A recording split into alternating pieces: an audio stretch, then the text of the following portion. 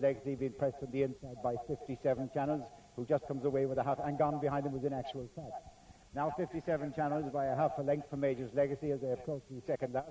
Again, a fine jump by the one in front and goes two lengths clear now of Major's Legacy. Up Branson stays at it back in third. Long run towards the last fence. And it's 57 channels being pressed again on the outside by Major's Legacy for then back to a closing up for Ransom. Up front, however, it's very close between the two on the inside with the paler colours, 57 channels, and the orange colours on the outside is Major's Legacy. Five then back to up for Ransom. 57 channels has two to spare as he races away from it from Major's Legacy, who stays at it back in second. Up Ransom looks beaten as they turn in for home. 57 channels by two and a half from Major's Legacy.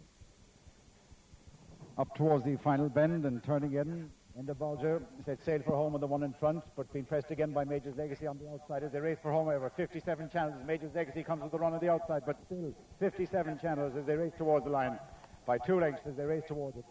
57 channels wins it. A very impressive display of jumping by this one from Major's Legacy. Home, all grouped up in front.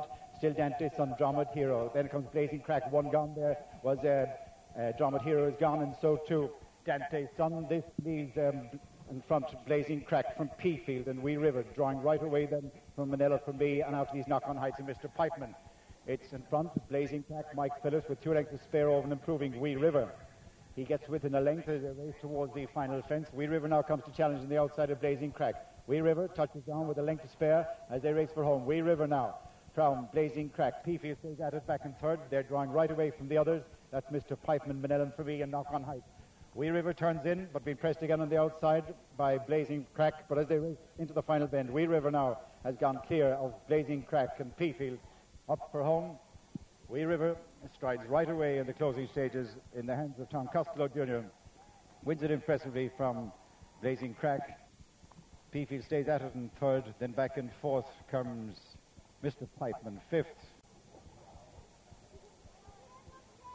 There is a jockey still down on the far side and is being attended to. The danger to him as they come away from Mooncastle. Racing for home, the Silver Rolls has a length to spare over Fairy Mist. As they come across, the Silver Rolls appears to be going the better between himself and the second one with one fence to jump.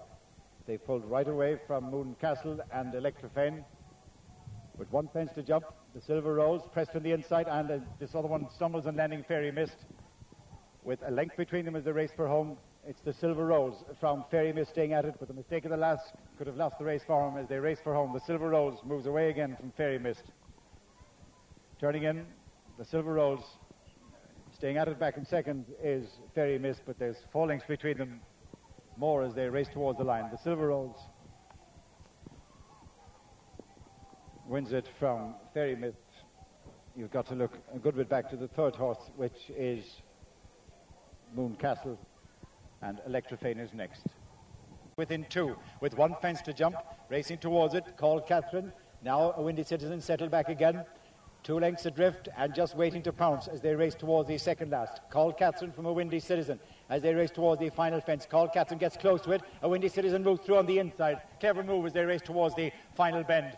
It's a Windy Citizen. Call Catherine, however, won't give up on the outside as they race towards it. It's a Windy Citizen from Call Catherine as they turn in.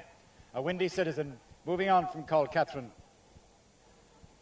As they race up towards the line, a Windy Citizen was held up for a late challenge by William O'Sullivan as they race up towards the line. A windy citizen Call Catherine is staying at it back in second. This could be close still. However, as they race towards the line, still a windy citizen kept up to his work by the jockey as they race towards the line. There's going to be about three lengths at it at the post. A windy citizen wins it. Call Catherine, the gamble is second. Challenge golden arrangement for second. And then comes Corriglow back in fourth, moving towards the final fence. Matty Tynan. Fancied in Lisgoold in the opening meeting has one fence.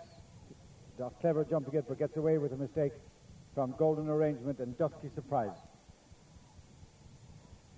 Matty Tynan is a distance clear of the others as they turn in. The warm favourite in the capable hands of Philip Fenton, who just looks quietly over his shoulder. He'll see Ken Whelan keeping the second horse up to his work with Dusky Surprise coming to challenge this for second. If you're on to be second to the favourite, there could be a race good with Metrostyle coming too on the outside of them as they race up towards the line. It's going to be close between these. Dusky Surprise Metrostyle as they race towards the Dusky Surprise will be second from this angle from Metrostyle Golden Arrangement. But no doubt about the one who won the race impressively. That